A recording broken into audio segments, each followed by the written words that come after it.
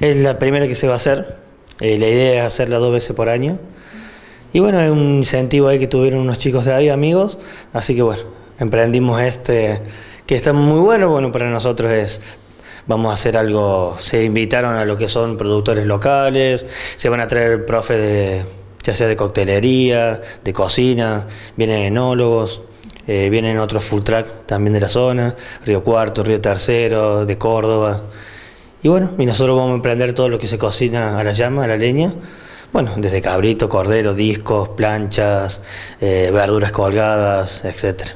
¿Cómo surgió un poco la idea y de poder hacerlo en embalse, en un fin de semana también que el valle va a estar con, con mucha actividad? Y la idea era ver ese movimiento, aprovecharlo un poco. Y lo que pasa es que nunca se hizo ninguna feria gastronómica en embalse. Y bueno, estamos viendo que toda la zona se está moviendo mucho, bueno. Y lo hacemos más que nada para que se empiece a mover un poco embalse sobre esa actividad, ¿no? Y bueno, fue algo propio, tenemos un poco de apoyo local. Y bueno, y más amigos, colegas y etcétera. Bien, ¿habrá chefs presentes que también, eh, bueno, habrá algún tipo de charlas o algún tipo de, de, de, experiencias para compartir?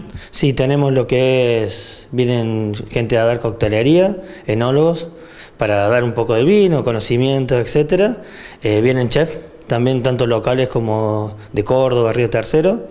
Eh, vienen, vamos a tener un espectáculo por día y al final cerramos con un grupo muy bueno bueno, en realidad son todos y son todos locales, salvo el del lunes, que es un agente de Córdoba.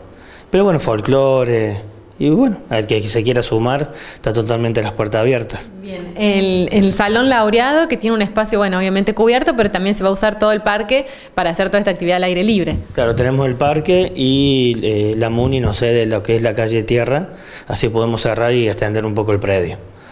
Así que está, va a estar muy interesante, muy bueno hay un poco de repercusión y bueno, eso nos pone más contentos. Bien, esto comienza el viernes. Esto es de viernes a lunes.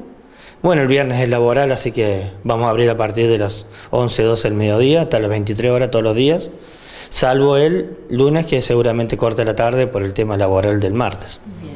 Bueno, todos invitados, entrada libre y gratuita al predio. La entrada libre y gratuita, lo único que van a tener que pagar es lo que se consuma y hay bastantes opciones, así que bastante interesantes.